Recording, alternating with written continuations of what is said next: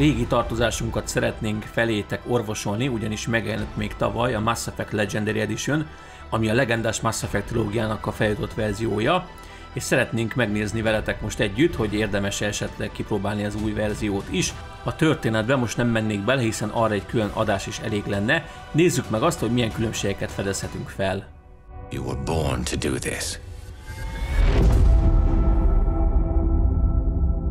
Természetesen mindig jeleztük nektek valamelyik sarokban vagy alul felül, hogy melyik verziót hasonlítjuk össze melyikkel, és hát értelemszerűen, mivel a Mass Effect első része jelent meg a legrégebben, itt lehet a legnagyobb különbségeket felfedezni, úgyhogy kezdjük mindig ezzel, és tehát itt a karaktermodelleket próbáltuk nektek megmutatni, hogy mennyi változás van, és hát egyébként nincsen sok, itt lehet látni, hogyha bezoomolunk, akkor itt a szőrszálakon látszik egy kis különbség, de alapvetően nem hiszem, hogy meghatározó lenne bárki számára az, hogy melyiket látja. Sőt, néha egészen érdekes dolgok fordulnak elő, hát nézzük meg ezt a rémisztő tekintetet itt például, szóval egészen brutális. De általánosságban elmondható, és ez végig így lesz majd, majd látni fogjátok, hogy mint hogyha világosabb lenne a felújítás, kapott egy ilyen világosabb szűrőt, ami néha jól néz ki, hogyha eredetileg egy sötét felvételt láttunk, néha viszont ö, olyan, mint hogy egy ilyen borzasztó, ilyen, egy ilyen fehér ilyen réteg lenne, egy ilyen fényes réteg kerülne rá a felvételekre. Itt ugye már a Mass Effect 2-t láthatjuk bal oldalon, és lehet látni, hogy mennyire kis különbség van, és itt, itt a háromnál pedig már szinte semmilyen különbséget nem fedezhetünk fel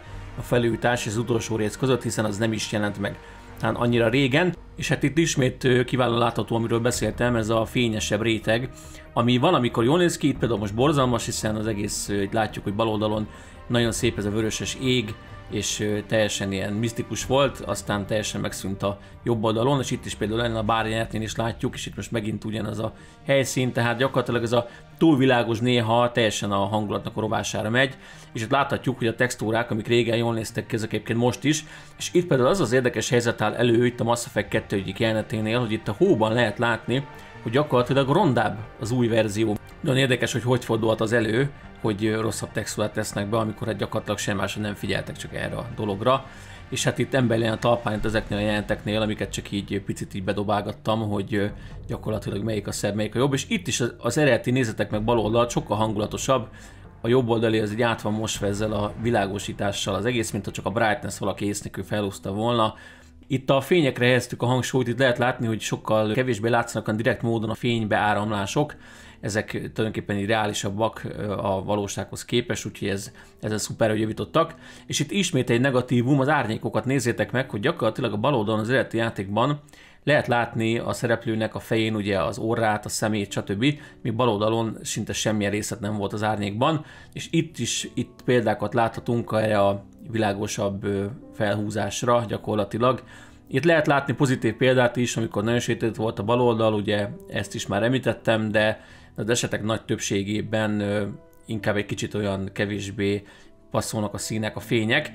És itt most egy olyan terület érkeztünk, ami viszont tényleg jobb az új felújításban, az nem más, mint ezek a különböző ilyen részecske effektek. Lehet látni, hogy sokkal részletesebb a víz, sokkal szebb a vízpára, sokkal szebbek ezek a kis falevelek, amik hullanak, több részecskéből állnak, a tűzeffekt is sokkal reálisabb itt a bal oldalon, ugye egy sokkal kezetlegesebb tüzet láthatunk.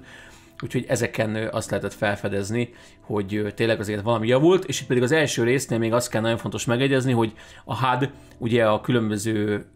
dolgok, hogy a fegyverünket kiválaszthatjuk, a menürendszer is megváltozott az előnyére. Nagyon kezdetleges volt még, és nem volt konzolbarát, és hát ugye az még egy fő PC-s játék volt annak idején, és gyakorlatilag most átalakították, sokkal inkább kontrollerbarát lett a felhasználói felület, és itt, itt a vége felé pedig igazából azt akartuk nektek megmutatni, hogy gyakorlatilag